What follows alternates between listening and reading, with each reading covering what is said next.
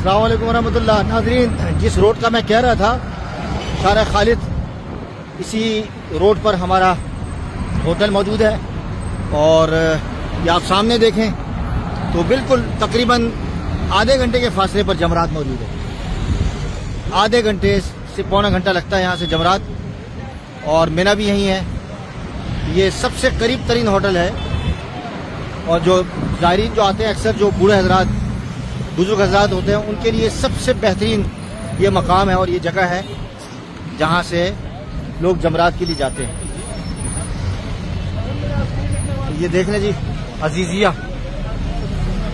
عزیزیہ کا منظر۔ رش۔ السلام علیکم ورحمۃ اللہ وبرکاتہ۔ اس وقت رات کے تقریباً ساڑھے بارہ بج رہے ہیں اور آج تاریخ کون سی ہے؟ بارہ تاریخ۔ بارہ جون ہے، دو ہزار چوبیس۔ یہ کبری خالد ہے۔ آپ دیکھ رہے ہیں یہ پوری۔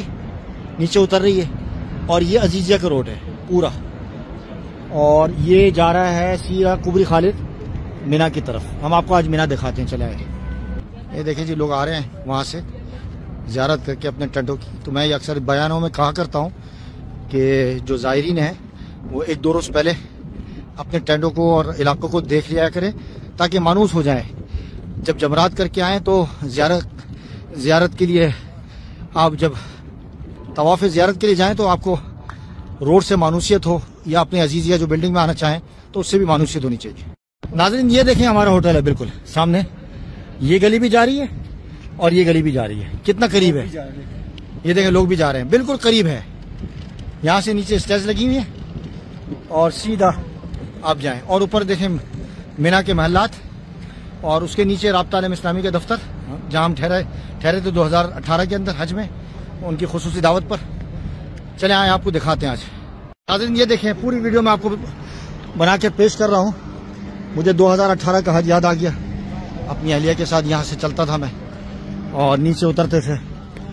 اس وقت رہائش ہماری مینا میں تھی، رابطہ عالم اسلامی کے دفتر میں۔ اور یہ یہ بھی بند کر دیا، عام دنوں میں کھلا ہوتا ہے۔ اور یہ دیکھیں ساری حجاج زیارت کر کے آ رہے ہیں۔ یہ دیکھیں جی ماشاءاللہ۔ یہ شوق اور ذوق ولولہ ہوتا ہے جو ان کو مینا پہلے دکھاتا ہے۔ یہ ان کا ولولہ جذبہ دیکھیں حاجیوں کا۔ اور ہمیں بھی یہ ولولہ رات کے بارہ بجے یہاں پہنچا رہا ہے۔ گرمی تو ہے رات کے، ابھی ٹیمپریچر کتنے ہیں؟ چھتیس؟ Thirty six? Thirty six. دیکھیں جی کبری خالد آ گئی، اب ہم اندر جا رہے ہیں۔ سیکورٹی چیکس یہاں ہوتی ہے، جس کے پاس نسخ کارڈ نہیں ہوتا، وہ اندر نہیں جا سکتا۔ اور یہ دیکھیں یہ آنے کا راستہ، یہ جانے کا راستہ۔ ماشاء اللہ یہ دیکھیں کہ ماشاء اللہ چار لوگ، میرے ساتھ تین لوگ موجود ہیں، باقی سب تھکے ہوئے ہیں۔ سب اپنے کمروں میں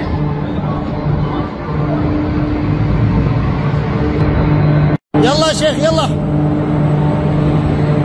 ماشاء اللہ کبری خالد ختم ہو گئی۔ کیسا لگ رہا ہے جی؟ کیسے رہے؟ مینا آ گیا جی؟ آؤ جاؤ۔ یہ لڑکا بس پوچھ رہا ہے کتنا چلنا ہوگا۔ بھائی چلنا ہی چلنا ہے حج میں۔ یہ ماشاءاللہ یہ ہماری وہ روڈ۔ یہاں سے رابطہ عالم اسلامی کا دفتر۔ ماشاءاللہ۔ تاریخی جگہ پہ آ گئے۔ مینا میں پہنچ گیا ماشاءاللہ۔ یہ سامنے دیکھ رہے ہیں۔ اس کے پیچھے ہمارا ہمارا ہوٹل ہے۔ یہ وی آئی پی ٹینٹ، یہ سارے جتنے ہیں، ماشاءاللہ ماشاءاللہ تبارک و تعالی۔ ناظرین، مسجد خیف، مشاعر مقدسہ میں مقدس ترین مقام شامل یہ مسجد مسجد خیف۔ پہلے منظر دکھا چکا ہوں دو ہزار اٹھارہ میں۔ آج آپ دیکھ لیں، ماشاءاللہ۔ ماشاءاللہ۔ یہ مسجد پورے سال بند ہوتی ہے، صرف ان آٹھ، نو، دس، گیارہ۔ یہ مسجد کھولتے ہیں۔ ابھی بھی بند ہے یہ، لیکن باہر سے میں آپ کو یہ مسجد دکھا دیتا ہوں۔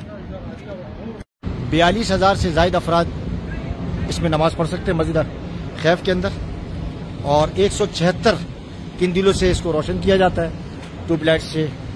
اور اسی طرح بتایا جاتا ہے کہ دو سو چھپن ہجری کے اندر اس کی تعمیر و توسیع کا سلسلہ قائم ہوا تھا اور اس کے تقریباً بیس دروازے موجود ہیں، ایک دروازے تھے اور اب بیس دروازے موجود ہیں الحمدللہ اور یہاں جن جن دنوں میں مقدس مقامات میں مسلمان حج کے ایام کے اندر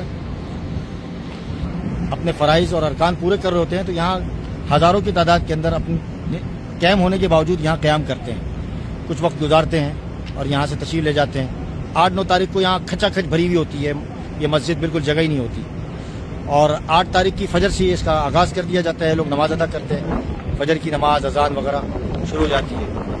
پچہتر انبیاء علیہ الصلاۃ والسلام اپنی اپنی سواریوں پر تشریف لائے تھے اس مسجد میں۔ اور ستر انبیاء علیہ الصلاۃ والسلام نے روایت میں آتا حج کیا تھا۔ یہیں سے تشریف لے گئے تھے اس مسجد میں۔ اور اس مسجد سے تشریف لے اور نبی اکرم صلی اللہ علیہ وسلم اپنے صحابہ کے ساتھ تشریف لائے تھے۔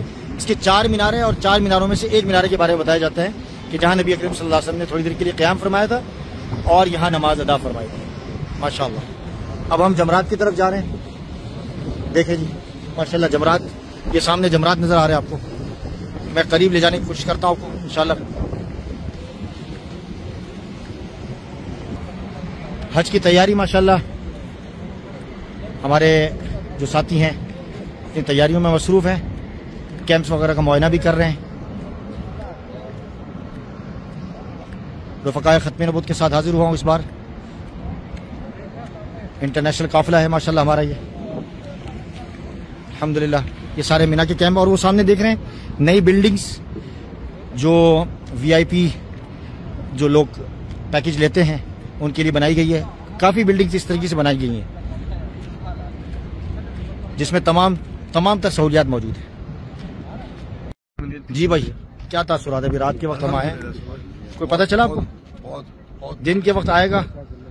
یہ موقع تو انشاءاللہ بہت بہتر۔ تیاری ہے۔ انشاءاللہ جی بھائی۔ میں تو میرے جذبات نہیں ابھی آپ لوگ سو رہے تھے۔ یہ اور مجھے آپ لوگ کہتے کہ آپ جاگے ہوئے نہیں ہیں۔ جو ہے تاریخ رقم ہوئی ہے تو بھی ہونے جو جان ماشاء اللہ نہ سوتے نہ سونے دیتے۔ نہیں نہیں اپنی ایک ہو گیا۔ اب یہ خوب یہ جمرات ہے جی یہاں تک پہنچ گئے ہم لوگ۔ اور آگے بےچارے یہ کہہ رہے ہیں تھک گئے، واپسی بھی جانا ہے ہم۔ چلو جی واپسی چلتے ہیں۔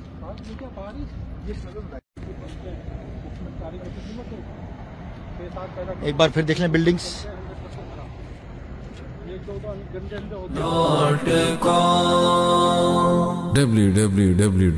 www.dasquran.com